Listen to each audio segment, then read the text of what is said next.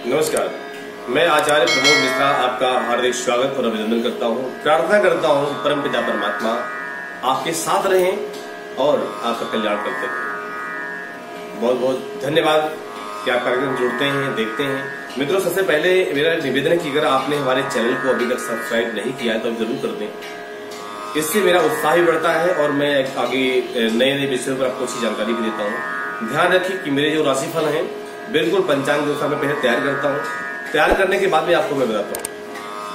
ग्रहों को, गोचर को एकदम मिक्सिंग करके तरीके से कि क्या उचित रहेगा, क्या अनुचित है, कैसे है तो उस पर मैं विशेष चर्चा करते हुए आपको जानकारी देता हूँ। तो प्रारंभ करते हैं कि जुलाई के महीने में जो मकर राशि के लोग हैं, उनका राशिफल किस तरह रहने वाला है और क्या उतार चढ़ाव के जीवन में रहेगा। सबसे पहले एक से दस जुलाई के बीच में, इस समय बुध मंगल की दृष्टि आपकी राशि पर रहेगी। समय सभी प्रकार से आपके अनुकूल है, योजनाएँ आपकी सफल होगी, कार्यस्थल पे भी आपका अच्छा लाभ मिलने वाला है, अनुकूलता रहेगी, धन का लाभ होगा, संतान सहयोग प्रदान करेगी, विदेश जाने वालों को सफलता निश्चित मिलेगी। व्यापार में नए अवसरों की प्राप्ति होगी और जीवन आपका अग्रसर होता रहेगा। ग्यारह से बीस जुलाई के बीच में चंद्रमा दशम होने से व्यापार गतिविधियों में तेज़ी मिलेगी, ऋण संबंधी समस्याओं का समाधान होगा, अटके धन की प्राप्ति होगी और मित्रों से मुलाकात होगी। संपर्कों का लाभ होगा, नए वाहन, मकान खरीदने का मन बन सकता है, वैभव में वृद्धि होगी, सुख की प्राप्ति होगी। वैवाहिक जीवन संतुष्टि प्रदान करेगा। 21 से 31 जुलाई के बीच में, सूर्य के प्रभाव से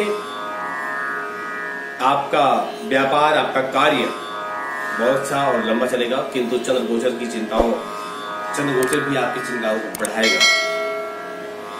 उद्योग, कारखाने, व्यापारिक कार्य भी छोटी मोटी समस्या ला सकते हैं। अगर आप ट्रांसपोर्ट का काम करते हैं तो उसमें भी समझ के रहें। कुछ अज्ञात लोग, गुप्त लोग आपको परेशान कर सकते हैं। महीने के अंत में आपके काम का विस्तार होगा। कुछ समय आपका अच्छा होने वाला है। अगर अलग अलग विषय में चर्चा करें तो सबसे पहले नौकरी के बारे में। समय सब तरह से आपका अच्छा रहेगा, कोई नया काम आपके हाथ होगा। सहकर्मियों के सहयोग से आपको समर्थन मिलेगा। लाभ के अवसर आपके सामने आएँगे। कोई नई बात आपको पता लगेगी। जिसके द्वारा आप प्रसन्न व्यापार के बारे में बात करते हैं। व्यापार की विस्तार की योजना पर आपका काम अच्छा होगा।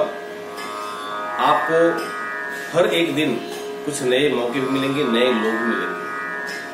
और आपके लिए मददगार साबित होंगे। ये कार्य है व्यापारिक। परिवार के बारे में बात करते हैं। परिवार में किसी मंगल उत्सव, शुभ कार्य का आयोजन हो सकता है।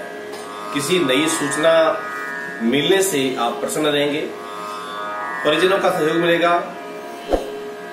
माँ की तबीयत का भी अच्छा लाभ मिलेगा। यानी उनको जो भी दिक्कत चल रही थी, परेशानी स्वास्थ्य में, वो परेशानी दूर होगी। स्वास्थ्य होगा स्वयं की सेहत में आपकी सेहत आपकी अच्छी रहेगी। कोई परेशानी नज़दीक नहीं है। आपके उपकरण, मोबाइल, लैपटॉप, कंप्यूटर इत्यादि में कुछ दिक्कतें हो सकती हैं, उसमें सावधानी रखें। बात करते हैं दाम्पत्य जीवन की। जीवन साथी के साथ रिश्ता अच्छा रहेगा। आपकी बातें सुनी या समझी जाएँगी। जीवन साथी से समर्थन और सुरक्षा दोनों मिलेंगे आपको।